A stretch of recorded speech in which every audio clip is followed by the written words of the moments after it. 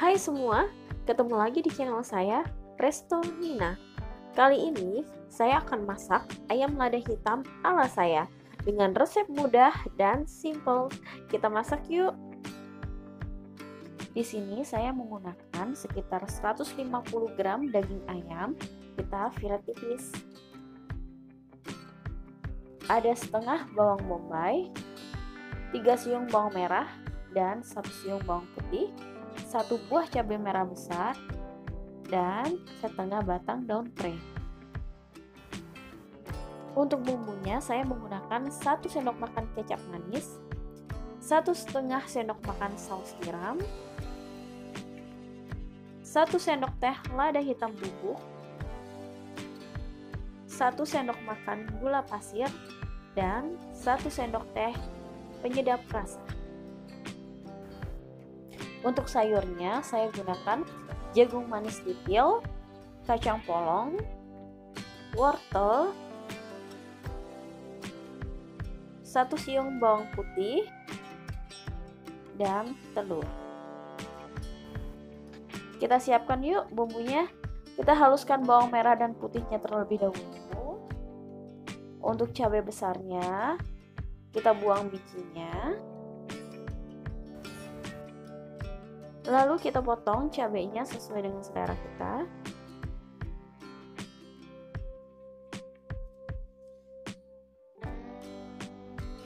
Dan untuk bawang bombaynya, kita iris menjadi enam bagian atau kita iris kotak besar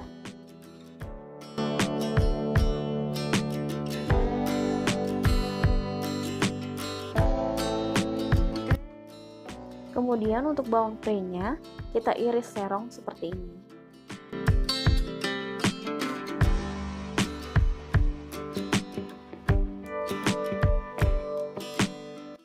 Selanjutnya kita siapkan minyak goreng untuk menumis bawang merah dan bawang putih yang sudah kita haluskan tadi.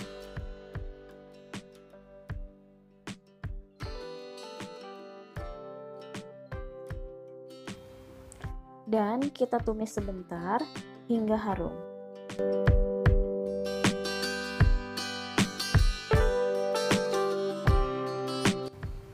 Jika bumbu sudah mulai harum, kita bisa masukkan irisan daging ayam filetnya.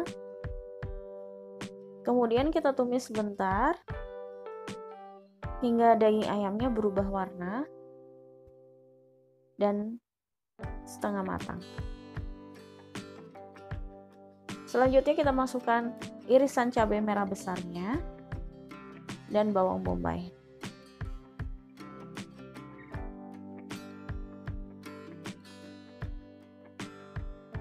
Tumis lagi sebentar.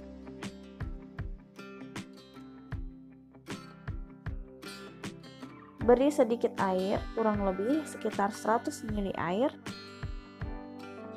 Masukkan bumbunya. Ada lada hitam bubuk 1 sendok teh. Satu setengah sendok makan saus tiram.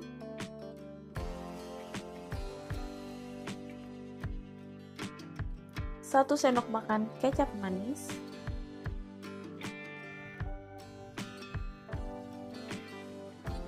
1 sendok teh penyedap rasa dan 1 sendok makan gula pasir.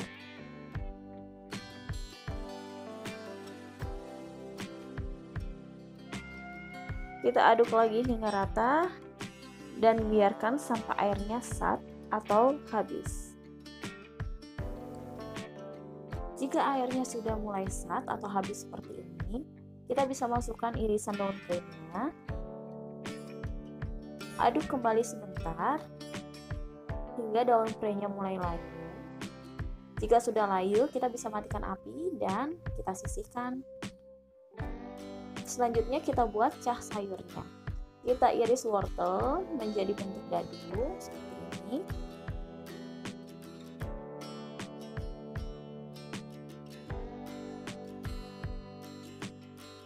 Dan bawang putihnya kita geprek kemudian kita cincang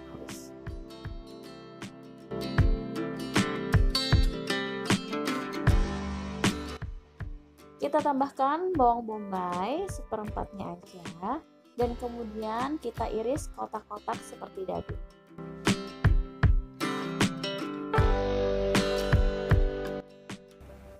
Kemudian kita panaskan sekitar setengah sendok makan margarin untuk menumis sayurannya.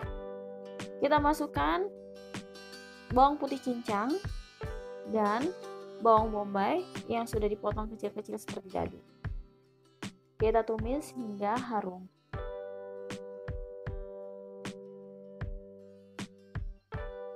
Setelah harum, kita masukkan irisan wortelnya. Tumis sebentar, tambahkan sedikit air agar wortelnya matang.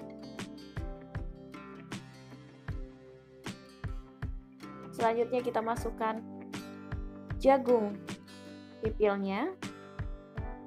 Kita tumis sebentar lagi hingga jagungnya mulai matang juga.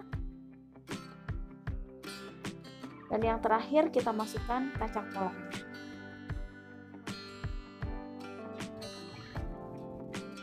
Untuk tahap terakhir, kita panaskan sedikit margarin. Kita gunakan untuk menggoreng telur dengan api yang kecil sekali karena telurnya nanti tidak perlu balik lagi. Jika semuanya sudah matang, kita bisa siapkan satu cup nasi dan kita hias dengan timun atau tomat. Kemudian tambahkan cah sayur yang sudah kita masak tadi dan ayam lada hitamnya.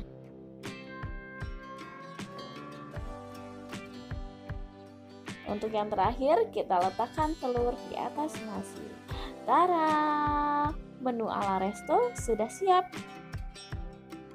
Keluarga di rumah pasti senang sekali dengan menu yang satu ini. Jangan lupa like, komen, dan subscribe-nya ya. Selamat mencoba!